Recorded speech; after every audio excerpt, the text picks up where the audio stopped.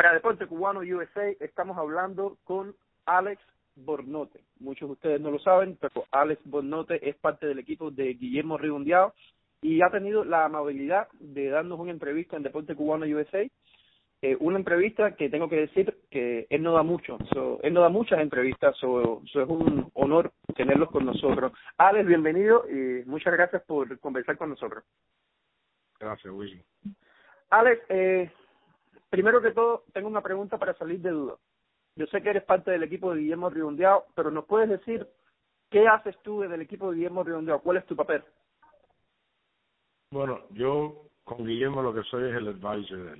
Yo le doy eh, mi opinión de ciertas cosas y me ocupo de todo lo que es su entrenamiento, su campo de entrenamiento, sus contratos, los viajes, todo lo que tiene que ver con el negocio con él. Claro, él hace sus propias decisiones y yo le digo mi opinión y las consecuencias legales, porque no conoce mucho las leyes de este país y yo lo que lo aconsejo acerca de las leyes, las repercusiones de cosas que, que, vaya a firmar y, las y las consecuencias que vaya a tener. Alex, eh, ¿qué tiempo llevas trabajando con Guillermo Redondeado eh, como lo estás haciendo? Llevamos creo ya casi tres años. Tres años. Y te mira por qué te, te hago esta pregunta. Recientemente estuvimos hablando con el manager legal de Guillermo Redondeado, su nombre es Gary Hyde, tú lo conoces, y Gary eh, nos dijo una, una cosa que, que, que quizás a ti no te guste mucho. Eh, nosotros le preguntamos eh, sobre cómo, qué tan difícil era para él trabajar con Guillermo Redondeados como manager, cuando por una parte eh, tiene a Caribe Promotions, que, que toma sus decisiones, por otra parte tiene al consejero de Guillermo Redondeados, que en este caso eres tú, y tiene a, a, los amigos cercanos que Guillermo Redondeados tiene alrededor de él, como tienen todos los bolsadores. Pero esta fue, esta fue la respuesta de Gary High. Él nos dijo, Alex Bornote es la manzana podrida. Yo siempre he trabajado bien con Caribe Promotions, pero eso terminó cuando Alex Bornote llegó eh, al equipo, cuando, cuando tú te presentaste. Eh, ¿Tú tienes algún comentario al respecto? Realmente creo que el señor Gary Hyde es un poco mal agradecido en el sentido de que la poca comunicación que él tiene con Guillermo Redondeado es gracias a mí, porque yo soy el que aconsejo a Guillermo que esto es un negocio, que esto no es nada personal. Si yo le traduzco a Gary Hyde las barbaridades que le dice Guillermo Redondeado al frente de mí, eh, él estuviera horrorizado. Y él entiende bastante el español, así que él no es bobo. Y en varias ocasiones hemos estado en comunicaciones que hemos hecho tres líneas con un asistente que tiene Gary Hyde, que se llama César, un señor mexicano, muy buena persona. Y fíjate si Gary Hyde es desconfiado que ha querido tener el mexicano en la línea para estar seguro de lo que Guillermo le está diciendo. Que yo lo encuentro como una gran falta de respeto. En, en un, el, el, bolseo es un negocio, Alex, eh, y, nosotros que estamos fuera y no, no lo vemos como ustedes lo ven, que están dentro del equipo de Río siempre nos queda la duda eh, en este caso, Gary Hyde nos dijo en la entrevista de que él como manager no tiene la posibilidad de levantar el teléfono y conversar directamente con Guillermo Redondeado. Por supuesto, sabemos que necesita un intérprete porque no, no habla español. Guillermo Redondeado no habla inglés. Eh, tú encuentras, como una persona de negocios que eres, tú encuentras apropiado que un manager no puede hablar directamente con su bolseador cuando es tan importante la, la relación de un manager y un bolseador? Él no habla porque no le interesa hablar, ni le interesa venir a Miami a visitar a su boxeador y ver cómo está su boxeador. Eso es mentira. Él tiene el email de la esposa, tiene el email del boxeador y cada vez que quiere comunicarse, él puede. El problema es de que el boxeador realmente no tiene deseo ninguno en comunicarse con él pero si él quisiera comunicarse, él puede. Para mí que él es más inteligente que nada, porque mientras menos tenga que hablar con el boxeador, menos tiene que lidiar con los problemas que tiene el boxeador día a día. Así que él es un hombre inteligente. Al principio yo pensé que era otra cosa, pero después me di cuenta que es mejor no hablar con el boxeador, porque un boxeador tiene problemas todos los días y situaciones que necesita un manager y son las cosas, las responsabilidades que él no ha hecho y por eso él es más negocio no comunicarse con su boxeador. En ese punto, Alex, y te prometo que a medida que te vamos haciendo preguntas, vamos a llegar a las preguntas que, que, tú vas a disfrutar más. Las primeras preguntas no, quizás no las disfrutes tanto porque se trata de este tema. En el punto de, de Gary Hyde como manager, él nos, él nos dice a nosotros que, y voy a leer textualmente lo que él nos dice, nos dice que en el 2012, antes de la pelea con Marroquín, Luis de Cuba lo convenció a Guillermo Ridondeado que firmara con Bob Aaron por 18 meses por un, total de tres peleas con una bolsa de 450 mil dólares, más 100 mil dólares que Ridondeado iba a recibir como avance. Según Gary High, en ese tiempo, que él ya estaba demandando a Guillermo Ridondeado por el contrato que tenían en las cortes, eh, Guillermo Ridondeado necesitaba el permiso de Gary High para poder hacer la pelea contra Marroquín, lo que él no aceptaba en ese momento. Pero eh, el, el, preparador físico de Guillermo Ridondeado, por nombre eh, DJ Montano Córdoba, que en ese momento trabajaba con Guillermo Ridondeado, tenía una tenía una, un tipo de relación con, con Gary High y lo llamó y le dijo, por favor, déjalo que pelee. Gary High dijo, está bien, déjeme ver el contrato y déjeme ver qué se puede hacer para ver si yo lo puedo mejorar como manager.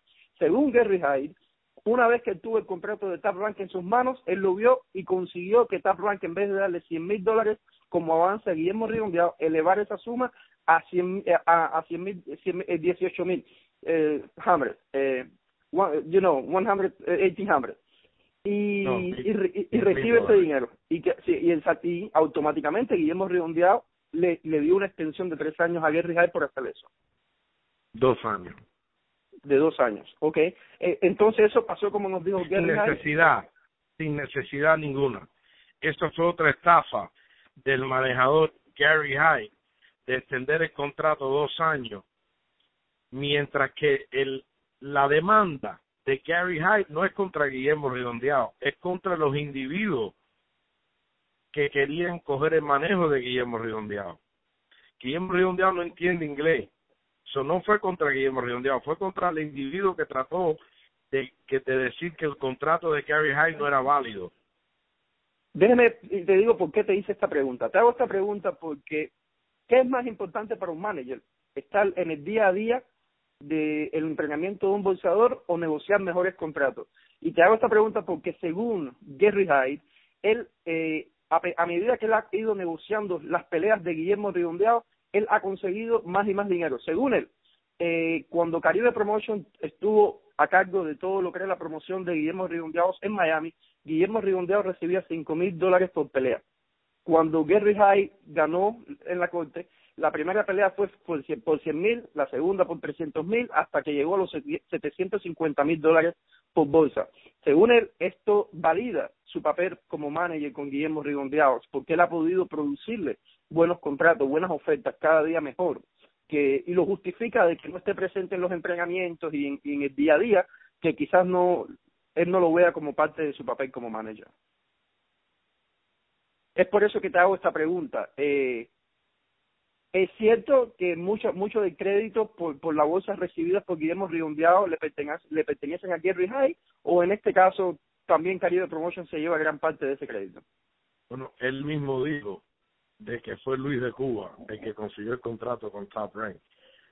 En el momento que se consiguió ese contrato antes de la pelea de, de Nonito, Gary Hyde había perdido contacto total con su boxeador. Por eso es que él eh, usa esa, eh, ¿cómo se llama? Decir que he tricked the boxer. Él, cuando ese contrato grande se, se efectuó, lo hizo Luis de Cuba. Entonces, él perdió comunicación con su boxeador. El boxeador dejó de comunicarse con él y no quería nada saber de él. Luis de Cuba le consigue este contrato de Top Rank, que es la que después consiguió la pelea de Nonito Donaire. Y cuando eso es que antes de la pelea de, que durante la pelea de Marroquí, que él consigue y le dice a Guillermo, porque ya no tengan más problemas legales, porque Guillermo no conoce los problemas legales y ve que lo estaban subpoena para ir a corte solamente porque en referencia a su contrato, no porque era contra él, porque era contra la gente tratando de quitarle el contrato a él, que Guillermo no sabía que estaban tratando, bueno, Guillermo sabía que estaban tratando de hacer eso, pero no era Guillermo, era la gente de Luis de Cuba y Eri Marín cuando aquello. Entonces él se va detrás de la espalda con, con Monte de Oca, detrás de la espalda de Garbey, que es el que también tenía que haber estado presente, se fueron detrás de la espalda de Garbey y le hicieron firmar esa extensión innecesariamente por dos años. ¿Para qué Guillermo Redondeado tiene necesidad de pagarle a su manejador 25% durante dos años más? Porque él usó esa estrategia de decirle, para que no tengas más problemas en corte, firma este contrato. El problema en corte no era de Redondeado, era de la gente tratando de quitarle el contrato a Redondeado. Él no tenía manera de parar ninguna pelea. Él usó esa táctica para que Redondeado le firmara esa extensión. Y si Gary Hyde lleva tantos años en el negocio y cree que el entrenamiento, el entrenamiento del boxeador, su campamento, sus problemas personales, para que él esté bien psicológicamente para prepararse para una pelea, más un boxeador con todos los problemas legales y todas las situaciones que tenía Guillermo, si él piensa que eso no es importante, entonces no sé qué tipo de manejado de él. Lamentablemente, para poder entender los problemas que, está afrontando el equipo y Guillermo Ridondeados, porque el público, los fanáticos, yo entre ellos, eh, lo vemos de afuera y es bien difícil entender que un bolseador del calibre de Guillermo Ridondeado, que es tan alto como el de Floyd Mayweather, en mi opinión, eh, esté sin pelear por, por nueve meses, por seis meses, eh, en un año que solo tenga una pelea contra un bolseador que, que casi nadie conoce. Ahora bien, conocemos el bolseo y sabemos todas las antimañas que, que los grandes promotores hacen por detrás del telón para poder conseguir los contratos de cierto eh, bolseador. Eh, tú estás en el equipo de Ridondeados.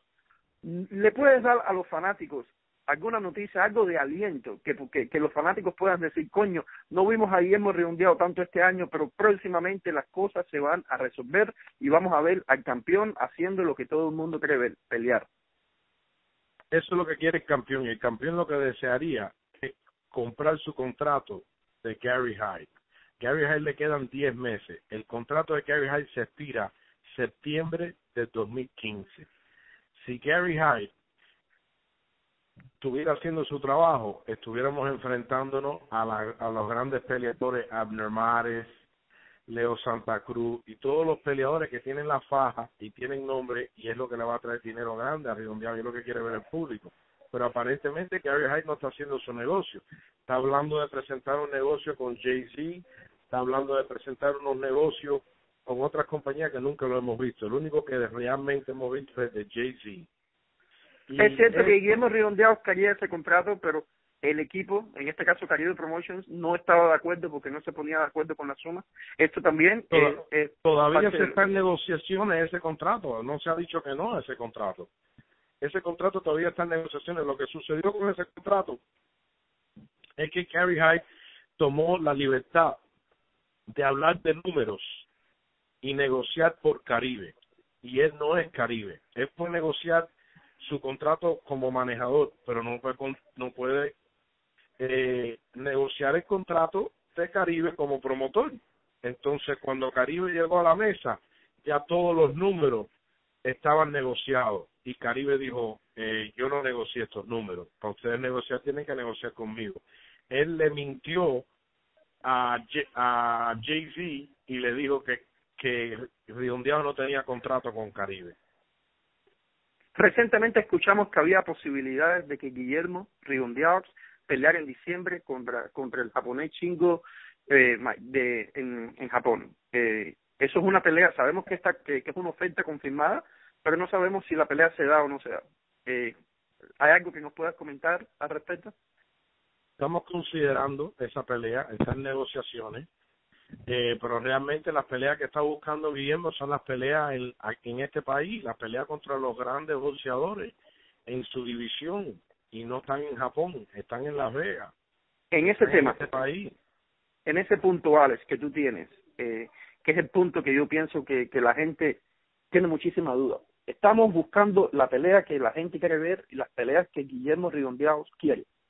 Pero cuando tú dices estamos buscando, me estás hablando de Caribe Promotions, me estás hablando de Alex Bornote, porque sinceramente, y lo digo con muchísima pena, porque tengo muchísima admiración, respeto y, y, nuestro trabajo es para bolseadores como Guillermo Redondeado, que son los que merecen nuestro esfuerzo por ser cubanos, pero tenemos que decir la verdad, y la verdad es que no parece públicamente por lo menos, que, el público vea que Guillermo Ridondeado está buscando esa pelea, porque no vemos a Guillermo Ridondeado frente a los medios hablando, no vemos a Guillermo Ridondeado en un NGM, en primera, segunda fila, cuando Leo Santa Cruz hace las declaraciones que hace.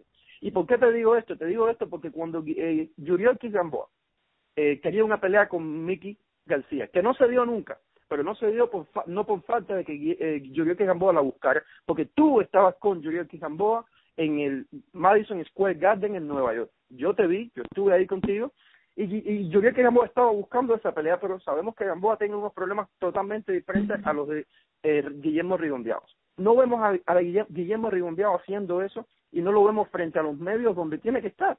Los, medios que hablan de bolseo, lo vimos recientemente en Telemundo, en, un programa de televisión que habla de telenovelas. ¿Tú crees que parte de la culpa por la que las cosas estén pasando, que a Guillermo Ridondeado no se le den las peleas que se le estén dando, es porque el público no lo ve, no, no, no se está defendiendo de los ataques de que es aburrido, que sabemos que no lo es la, la razón por la cual esas peleas no se están dando es culpa del manejador de Guillermo Redondeado, Gary Hyde. Si él es el manejador, él puede echarle la culpa a quien él quiera, pero el que tiene poder de negociar y permitir la pelea es él. Entonces, él puede echarle la culpa a quien él quiera, pero el trabajo es de él.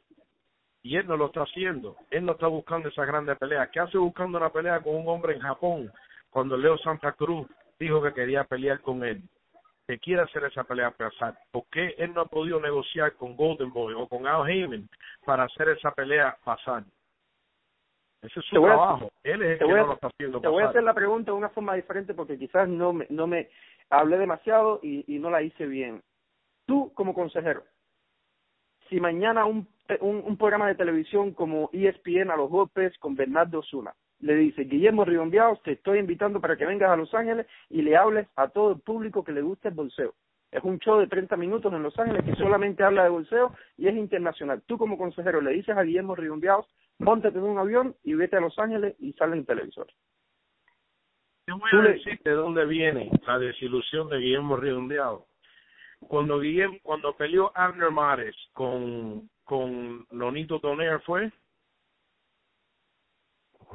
Hubo una pelea en Houston que está que, que Guillermo, el oponente que de Guillermo Redondeado, lo hicieron ir a Houston a pelear. Después le dijeron que su oponente había eh, eh, tested positive por HIV, que habían tenido un problema en la sangre el día antes de la pelea y le cancelaron la pelea a Redondeado.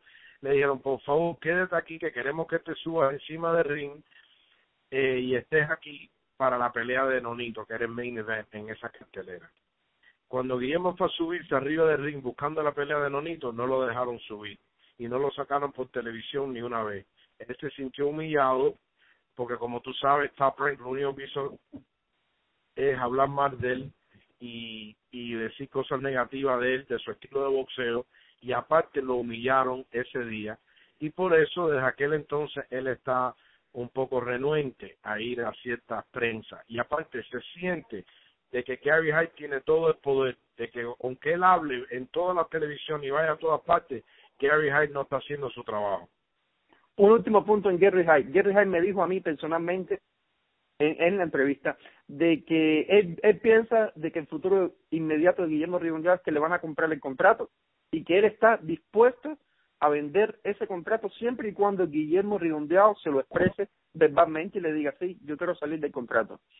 Que él no aceptaría venderle ese contrato si si si la oferta viene de alguien que no sabe lo que está haciendo en el bolseo porque le va a desgraciar el, el futuro a Guillermo Ridondeados. Eh, so sabemos por lo menos que la posibilidad de si el problema según Guillermo Ridondeados o según lo que nos está diciendo es Gary Hyde, existe la posibilidad de, de terminar con ese contrato.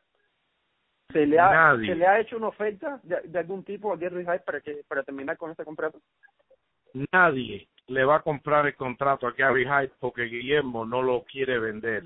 Guillermo es el que quiere comprarle el contrato a Gary Hyde. Guillermo está en, en una etapa de su carrera de que él no necesita un manager. Él no necesita pagar un 25% de su bolsa a un, a un manejador que no hace absolutamente nada, simplemente venir, colectar el cheque y tirarse fotos en la pelea.